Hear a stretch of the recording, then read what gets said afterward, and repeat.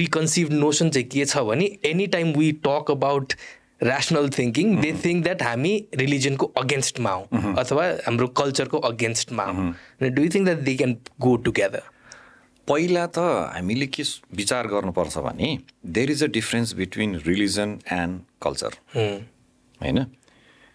हाम्रोमा चाहिँ के भइदियो भने हाम्रो रिलिजन अब नेपालमा भएको रिलिजनको कुरा गर्ने हो भने त्यो रिलिजनहरू हाम्रो वे अफ लाइफ बनिदियो। होइन? अनि त्यो वे अफ लाइफ बनेको हुनाले के भयो भने हाम्रो कल्चर पनि इम्बेडेड भयो।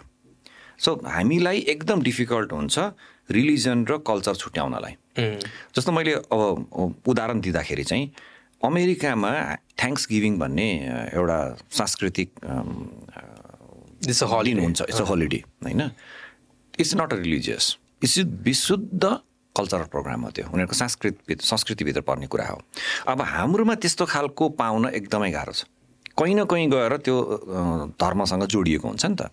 त्यस हुनाले अबको यङ्स युथहरूले चाहिँ के बुझ्नुपर्छ भने त्यसलाई मैले सेपरेट केही हदसम्म अलगली हेर्न सक्नुपर्छ। भन्ने त बुझ्नु पऱ्यो नि त।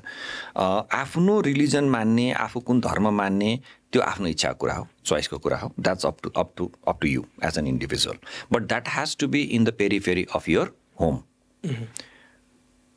त्यसलाई हामीले विद्यालयमा लान खोज्यौँ भने चाहिँ त्यहाँ त अरू मान्छे पनि हुन्छ। अरू धर्म मान्ने मान्छेहरू पनि हुन्छ नि त। Now the problem will start होइन? त्यो इभेन्चुअली आउँछ क्या त्यस हुनाले हामीले के बुझ्नुपर्छ भने यदि हामीले हाम्रो बच्चाहरूलाई ऱ्यासनल क्रिटिकल थिङ्किङ क्रिएटिभिटी दिने हो भने अलिकति उसलाई केही समय जुन धर्मबाट बाहिर निकाल्नै पर्छ। होइन धर्म सानैदेखि धर्म थोपर्न हुन्न। म त भन्छु बच्चालाई बोकेर मन्दिर पनि जानुहुन्न भन्छु म। त्यो त्यो त्यो आफ्नो प्यारेन्ट्सहरूको इच्छा कुरा होला। तर बच्चाको इच्छा छ कि छैन त बुझ्नु पऱ्यो नि त। होइन बच्चाले त्यो गर्न खोज्छै खोज्दैन।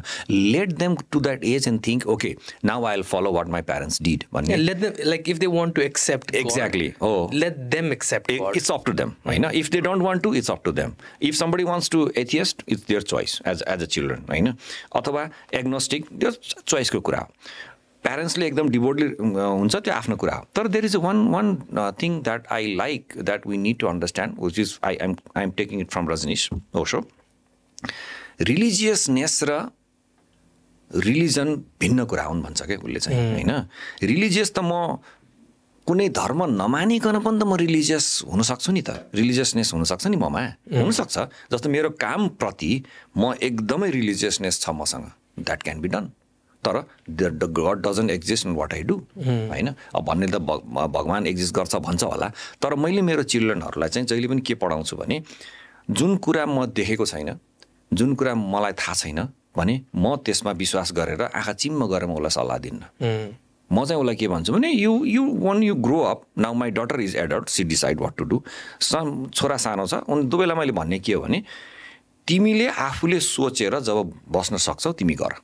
म तिमीलाई यही गर भनेर म भन्दिनँ। किन? पछि त म उसलाई डिक्टेट गर्न सक्दिनँ नि त। सानोमा त म डिक्टेट गरौँला पछि त म उसलाई डिक्टेट गर्न सक्दिनँ।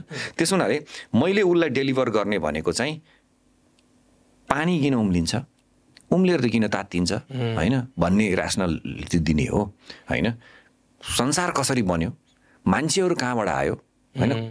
नेचरले कस के काम गर्छ भन्ने कुराहरू मैले उसलाई बताउने हो। मैले जाने कुरा डेलिभर गर्ने हो होइन? तर we are still in the age of ex एक्सप्लोरेसनमा छौँ हामी। म उसलाई चाहिँ जुन कुरा एक्जस्टै गर्दैन जुन कुरा हाम्रो चाहिँ एउटा चाहिँ अन्धविश्वासले जोडेको कुरा त म गर्दिनँ मेरो छोराछोरीहरूलाई। द्याट्स माई चोइस होइन? सो म चाहिँ उसलाई ऱ्यासनल थिङ्किङ गर भन्छु क्या? अनि त्यो गर्ने नै हो। हामीले बच्चाहरूलाई दिने त्यही भएर सेपरेसन गर्न चाहिँ सक्नुपर्छ भन्छु म चाहिँ एउटा स्टेजमा हामीले गर्नुपर्छ। रिलिजनलाई आफ्नो घरको उसमा राखेर जे गर्नुपर्छ जसले जे गर्नु मन लाग्छ गर फ्रिडम छ नि चोइस छ होइन पायो। तर त्यसलाई बाहिर ल्यायो बच्चाहरूलाई पनि त्यो धेरै ट्रान्सफर गर्यो भने पछि बच्चाहरूले पनि त्यो त्यो इम्प्लिकेसनहरू देखिन थाल्छ जस्तो लाग्छ कि मलाई।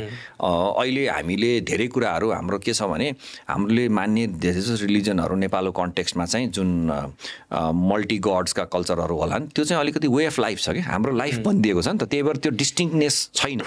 थाहा छैन नि त। तर अब्रामी कल्चरमा चाहिँ एकदम डिस्टिङ छ फेरि। होइन त्यो थाहा हुन्छ क्या त्यस हुनाले बच्चाहरूले त डिफ्रेन्सिएट गर्न पनि सक्दैन होइन। जे मानिरहेको संस्कार मान्नु र कतिपय कुराहरू नमाने पनि हुन्थ्यो भन्ने कुराहरू चाहिँ गर्नुपर्छ जस्तो मलाई लाग्छ। होइन गलत कुरा त सिकाउनु भएन नि त। पाँच सय वर्ष अगाडि जे कुरा चलिरहेछ अहिले त रिलिभेन्सी छैन नि त होइन? पाँच सय वर्ष अगाडि त बाह्र वर्षमा बिहे गरिदिन्थ्यो एक्ज्याक्टली होइन? मिल्दैन नि त। त्यो त्यो कुराहरू हामीले सिकाउनुपर्छ।